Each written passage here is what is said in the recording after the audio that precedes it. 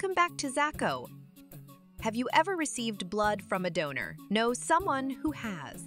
Well, blood transfusions are one of the most commonly performed medical procedures.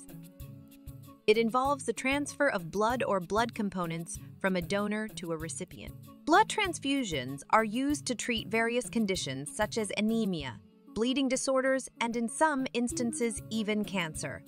While blood transfusions are generally safe, there's a potential risk of adverse reactions or side effects that can occur during or after the transfusion.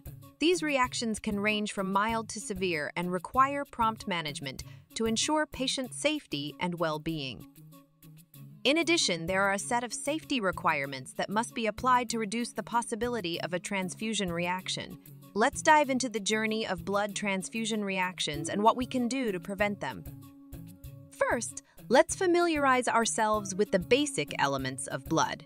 In any blood type, we have a liquid portion and a solid portion. The liquid portion is known as plasma, while the solid portion consists of red blood cells and platelets. Now, consequently, there are three main types of blood transfusions plasma transfusions, red blood cell transfusions, and platelet cell transfusions.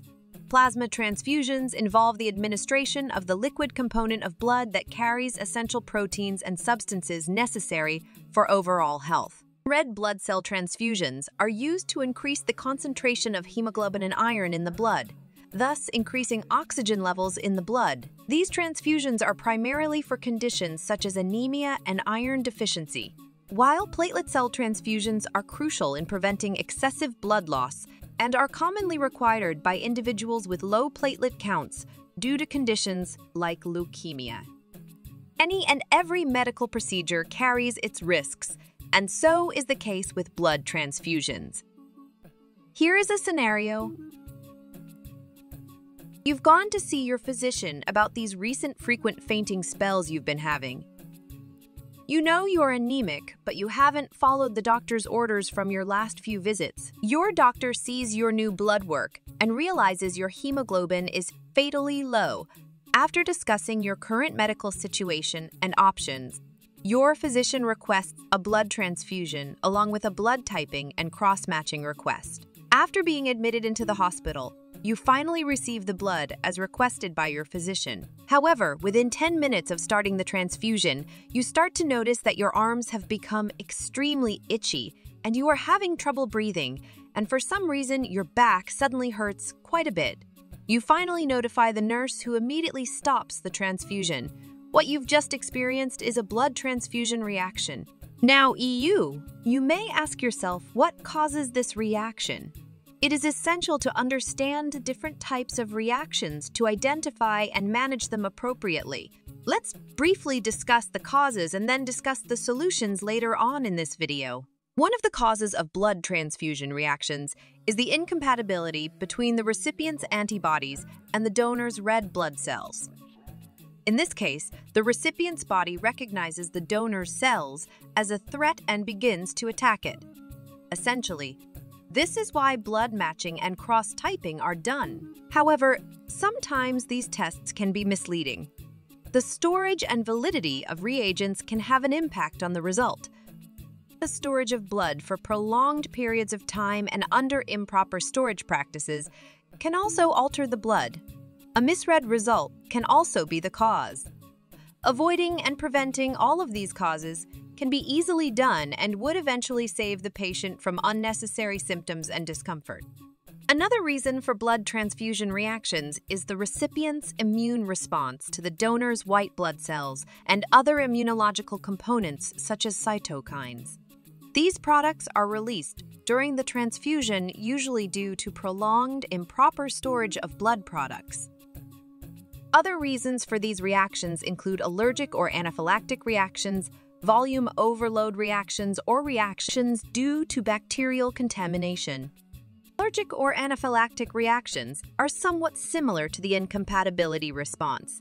However, the sensitivity or incompatibility is not towards cells, but rather towards specific proteins found in the donor's blood. Volume overload reactions are simply due to transfusing an excess volume of blood or fluid, while bacterial contamination reactions are usually due to contamination of donor blood by bacteria or their byproducts. Keep in mind that blood transfusion reactions can occur during or after the transfusion.